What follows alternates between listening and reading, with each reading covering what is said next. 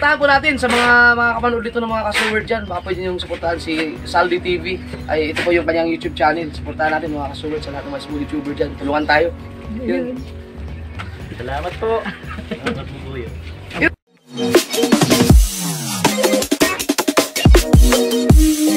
Umaga mga kapupuyog, nandito po ako kayo sa Katandaan.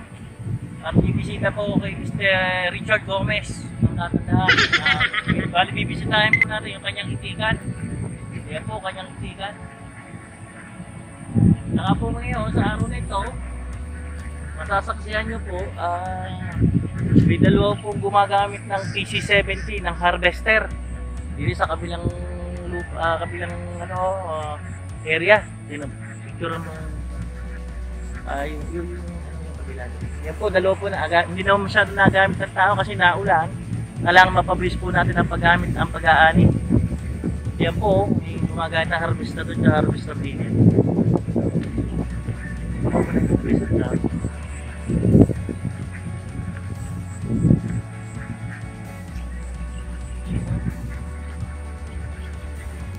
Ayan po, yun yung pong nag-harvest na to. Yanmar po yung PC70 po rin ang kanyang ano, makina. Yan po. Oh. Kasi medyo umulan po, ah, minamadali po nila ngayon ang pag-harvest ng kanilang palay. Uh, meron po din din sa kabila, yun, din po sa kabila. Yun, oh. Minamadali po rin nila yung kanilang pag-harvest. Kailangan po nilang ano kasi baka yeah, umuulan masama ang ano ang ating ano ano ano Kaya po yung itik na aking uh, kaibigan, Papa. No? So, yun yung kanyang harvester po. So, hinog na po rin ang kabilang are. Kung harvester po rin siguro gagamitin. Ay, lapit mo yung dinig, malaki. Ayan. Dito na tayo mga pagkukuyog. Marami din tayo na kalamansi. Ayan. Saglit Ayan, ayan po, ayan. Oh, naglalangay ang mga ito. Ay, dali, dali. Ayan. Oh. Ayan. Ay! Natuka pala sila doon. Parang Ebon. Yun ang ba may itikan pa dito? Saan ka may yan? Buti lang ka dito, girl. Wala ka sa ano. Hmm. Matanda na ka na. Yun ang kung ibang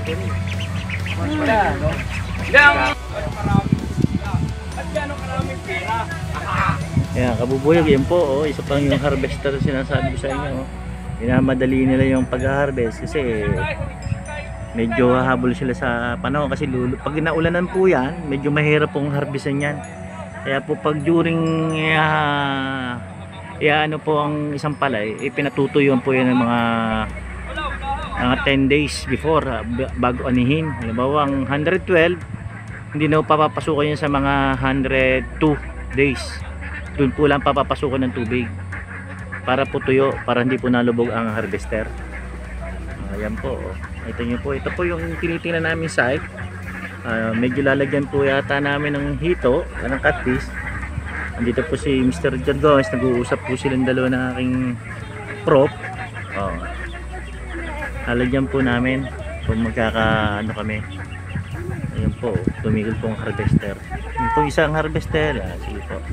May itikan po siya. Titingnan po din namin yung kanyang itlugan. Ah, mga kabubuyog, nakikita niyo po ngayon ang tinatawag na harvester. Ang modernong gamit ngayon sa pag-aani ng palay. Ayan po.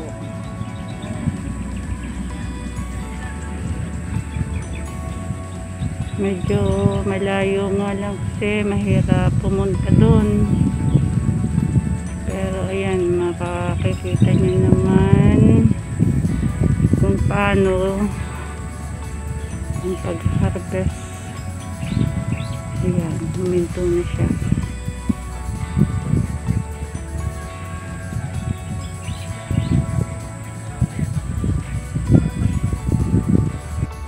Ito ulit ang itik.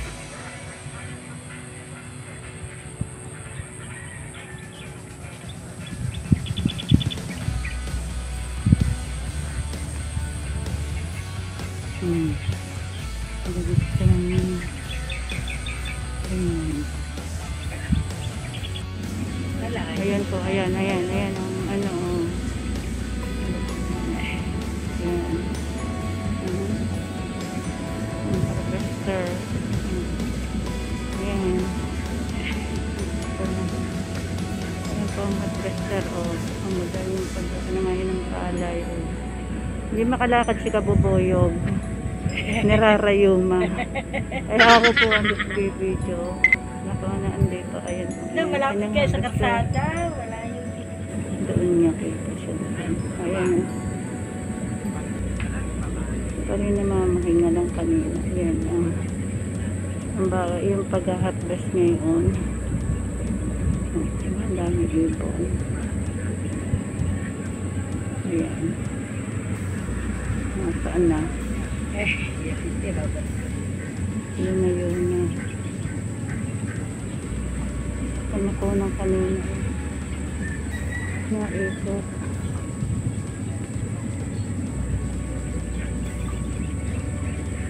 Wala siya.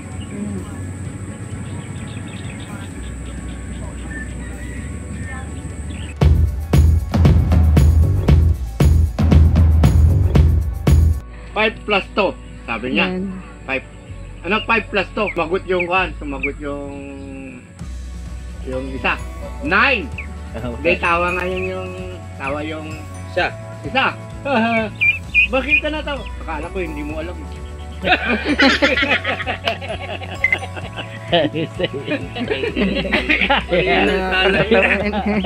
Parehong grade 4 eh. Ay, root 4. Ay, sa iyo. Ah, plus. green Wala- joke din. Sir, wala.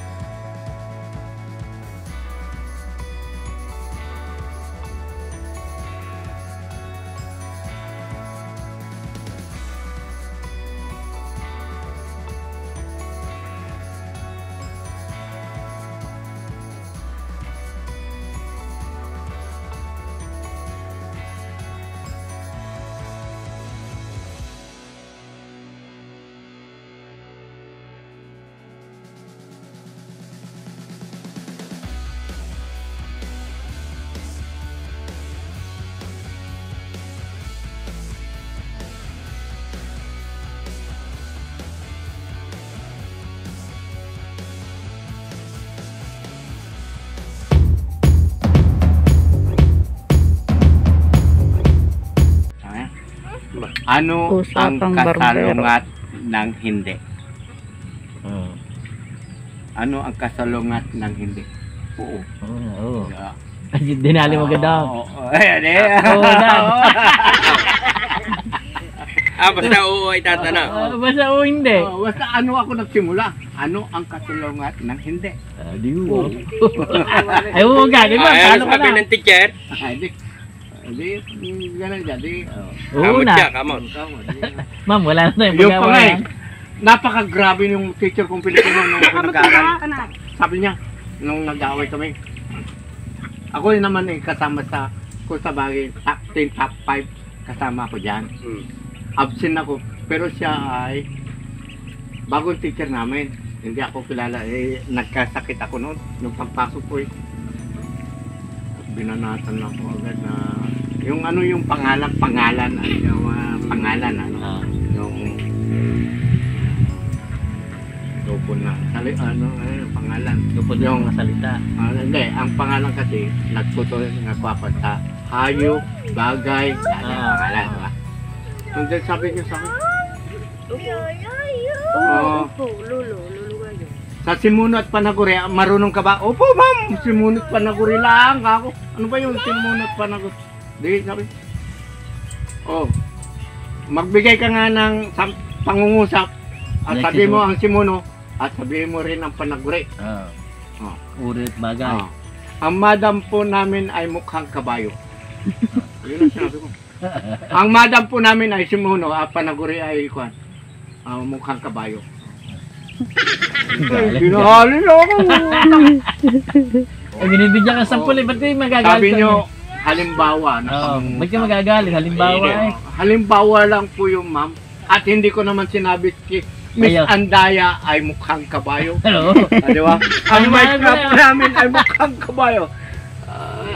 Ay, ah, tapos, may tama, may tama. Sabi, ano ang simuno? Ano pa sinabi ko? Ano nangyari? Galit. Eh, yun, nadali ako Parang sa din. nangyari, naging... Nadali ako sa din namin. Di, pina, ano, di, ang nanay ko ang pinapunta ko. Hindi naman siya, may pangalan ba niya? Oo, oo, oo. hindi ko naman sinabi. Ayan nga. Ang maestra po namin, mukhang kabayo. Oh, wala mo sinabi. Kaya nga eh. Oo. Ba, eh, kung, kung mag-iisip sila. Eh, kaya kami minsan nakakatawa. Kaya minsan tama lang yun eh. Lo. Tapos kung may sabi binanggit niya, ng pangalan, Halimbawa. Lo. oh, halimbawa- Halimbawa lang po. Kaya hindi, mahala masama no, may babanggitin kang pangalan. Kaya nga, kaya tinignan mga sa expression, panagure, Oo, at saka, mukhang kabayo. oh, Oo. Ito yung 1 kilo na po ang isa niya. Ilan ang Nagalaw. laman nyo rito? Ah, bumili lang ako. Mga 40 piraso lang yan. Oo. Kasi gagawin ko sana inahin yan. Ayun, oh, pinaka-breeder. Yung kanya yung fingerlings. Ah, Fingerlings nakita mo? niya pa, nandun eh. Ayun, nandyan. Fingerlings niya sa side na rin, fingerlings. Ah. Kita mo gaano kalalaki yung pitak na yan. Inirehab ko yan. Inirehab ko. Ito, eh, inirehab na. Rehab na. Yung Ah. kabila, nire-rehab pa rin. inirehab pa rin. Pero ang tubig niya, saan nagagaling? Yan din. Kita mo, malalim yan. Ayaw Malalim. maganda. Eh, Kita mo, mga 2 meters ang ilalim Kita niya. mo, 2 Teo. point, mga 3. tignan mo yung tubig na malinaw. Ah. Lilinaw din yan. 3 meters to ilalim ito. Lilinaw din. Ayun pa. Mga hito yan, yung mga hito nagalaw. Malalaki yan. Tapos may kangkong, may upland kangkong. Pariri ako palilinis pa yan. Lilinis. Hindi, ayos na. Mas maganda kasi parang nakakatulong siya sa, Ere, sa mayroon. digestion ng Ah. Ah. dumi. Mayroon kaming, yan, dito malalaki yan. 1 kilo na yan. 1 kilo each. Ilang pitak ang Tapos yung may pitak pa yun, no? Pitak, may May pitak ko doon. yun sa bangus. Oo, Kaya lang hindi ko kaya muna dalhin doon kasi ah, saan kinaka pinalilinis ko muna bago ka. Sana kung naka uh, pan tayo, good tayo. May bangus na kayo. Ilang figures yung unang Ang siguro mga isang daang bangus pa yan. Anong size ng inulog niya? Ganito na kalalaki. Mga laki na. Ano na, mga, se, mga se, 500 na. Huwag yung kalalaki. Kaya yung ano, kaya hindi ko maniwala na mayroong ganito na. kung ko hindi mo nakita, Hindi ko nakita. Akala ko doon. ah, kung Pero hindi, alam ko area nito. oh, kung hindi mo nakita, hindi ka maniniwala. Ano, ngayon nakita mo na, puro pitak-pitak yan. Baka ganda sa alin na rin. Pero yung ginagawa nila. Kaya nga pinaririnig ko lahat. Pinaririnig ko bago natin. Ang pinaka-the best to Safety ko. Sir. Ito yung liner. Compare to, compare to, na nakalagay yung kanyang finger.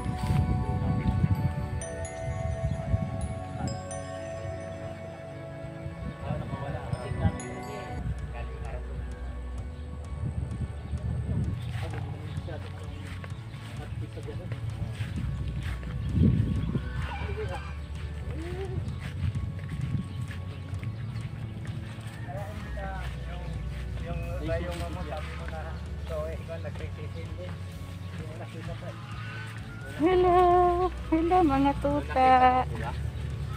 Hello. Hello mga tuta. Eh, ito yung mga na-vlog dati. Oh. Oh, may kabayo.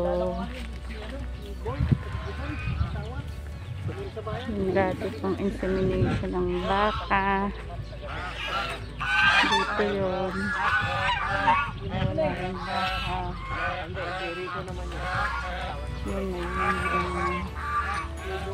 Unggoy. Saan nalagay niya? Dito insemination. Wala na siya. Di ba alam mo yung sa may tangkito dito may basketball court. Yeah, yeah, yeah, yeah, yeah. Ganda. So good na. Oh.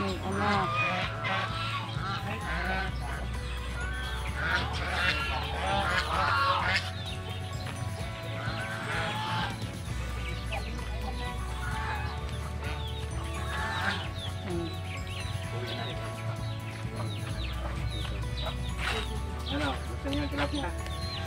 Kay... Ako po. Kami nandito po si Papa Bird.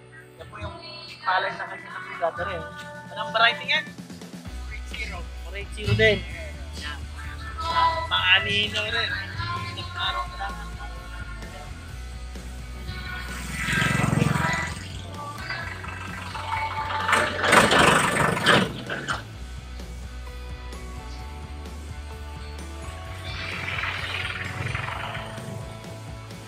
Salamat po sa may bahay kay Robert uh, Richard Gomez uh, sa kanyang ng Ebon. So, salamat po. Pag-like at subscribe na po na sa YouTube channel, sa YouTube.